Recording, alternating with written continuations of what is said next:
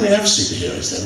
Uh, uh, um, but then I, I, I think my father had great ambitions for me. He wanted me to be an estate agent.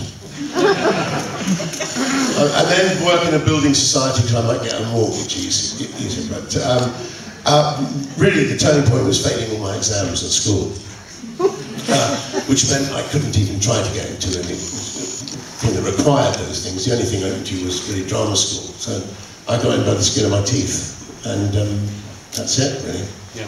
But I had no, I mean, I always thought of it as a job rather than a, a passion that I had throughout my life.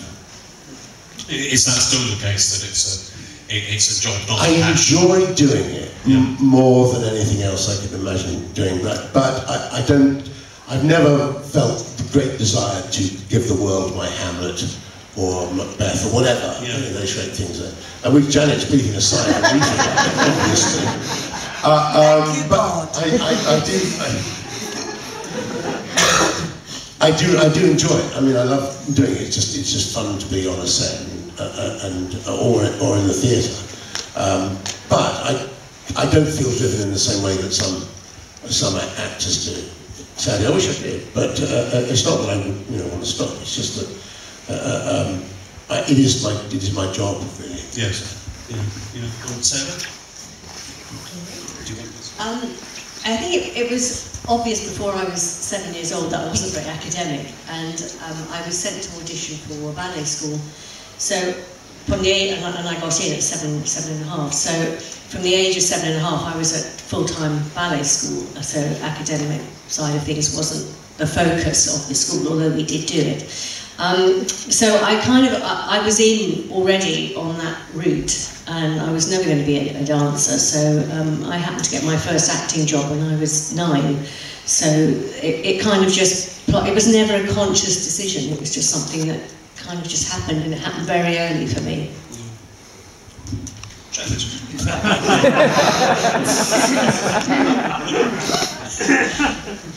So, um, I went to university. Sorry. I went to university to read journalism and I was doing English major as well. And in my first year, I got cast in The Miller's Tale. We did rehearsed readings in the English department. And I, I was in with Geoffrey Rush um, and Bille Brown.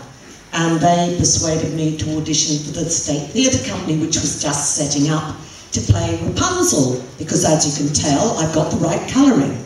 And, um, and that sort of kick-started my interest in that. But now I don't. I'm not an actor anymore. I run a charity called Project Motorhouse, which does arts heritage projects with uh, young people. So we've just done uh, one where they took portraits of people where, where we live. Um, we, we're right on the coast and there's a harbour. And so we took portraits, the kids took portraits of people who work around the harbour, like the RNLI, because that's very political at the moment. And um, the Thames pilots are based where, we, where I live. And um, What are the Thames pilots? they go out and they pilot the ships that are coming into the Thames Okay. estuary. So anytime you can see like nine or ten ships uh, moored off the coast at Margate, but they're based in Ramsgate where I live. And uh, so the kids took portraits of these people and then they did interviews with them and they were linked by a QR code to, uh, to the internet radio station and we put them up all around the harbour. It was a huge success. So that's the sort of stuff that I do now with young people. Yeah. Yeah. So, um, yeah. Thank you.